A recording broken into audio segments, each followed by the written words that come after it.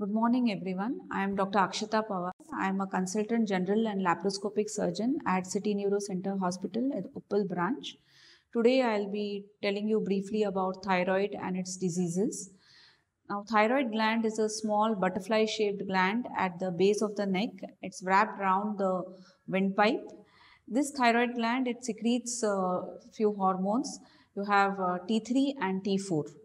So these hormones basically they affect all the cells in our body. They are uh, if the gland secretes too much of hormones, then you have a condition which is called as hyperthyroidism. If the gland secretes too little hormones, then you will end up with a condition which is called as hypothyroidism.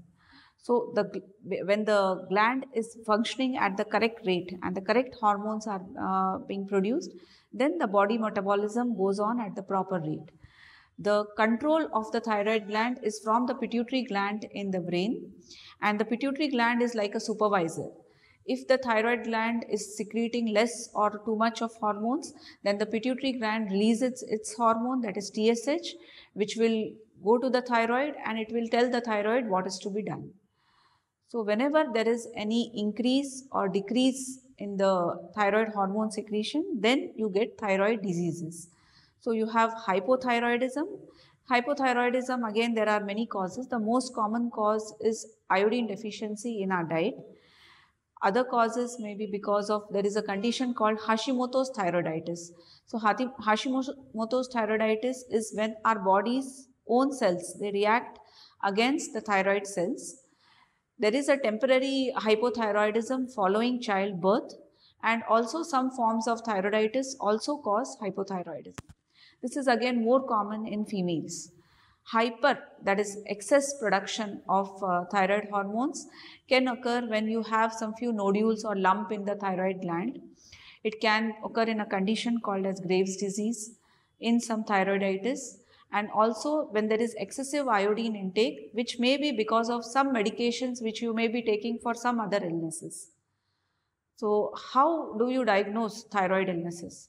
So first is a clinical diagnosis. When you go to your doctor, the doctor will examine your neck. Sometimes you will, uh, it is asymptomatic, there, is, there are no symptoms. Sometimes you may have a small lump or a nodule in your neck. There may be goiter, which is enlargement of the thyroid gland.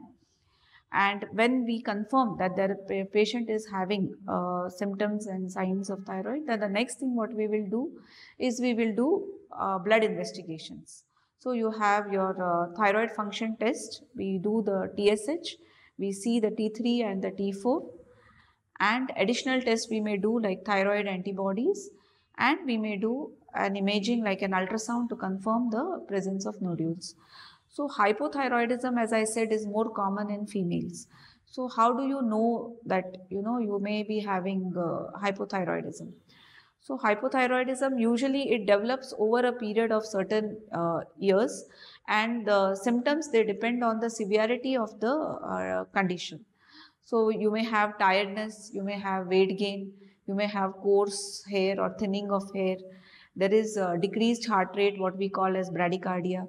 There are menstrual irregularities, there may be heaviness in the periods or irregular menses and there are there is uh, muscle aches may be there. So when all these symptoms are there, that is when uh, we evaluate and we do the necessary test. Whereas hyperthyroidism, as I told, it is because of increased production of thyroid hormones. So when the production is increased, the body metabolic rate is also increased. So the symptoms are slightly different. So you will have weight loss despite your increased appetite. There will be increased nervousness and anxiety. There will be increased heart rate, what we call as tachycardia. You will have palpitations, irregular heart rate. You will have moist and sweaty palms. There will be increased sweating. Even when you are sitting under a fan, you will have increased sweating. Again, there will be some other forms of menstrual abnormalities. So all this when we have, so we do the necessary test and in case it is hypothyroidism, then usually if it is because of iodine deficiency, then we supplement with thyroid hormones in the form of tablet. And if it is hyperthyroidism, then the we start with a medical line of management. We start anti-thyroid medications, which will help control your uh, thyroid production, hormone production. It will decrease the production of hormones. Or we do something called as a radio iodine therapy to again decrease the production of hormones. Or the other option is also surgery.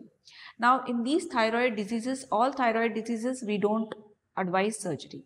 So there are only specific uh, indications for surgery. One may be when there is presence of nodules or lumps in the thyroid gland.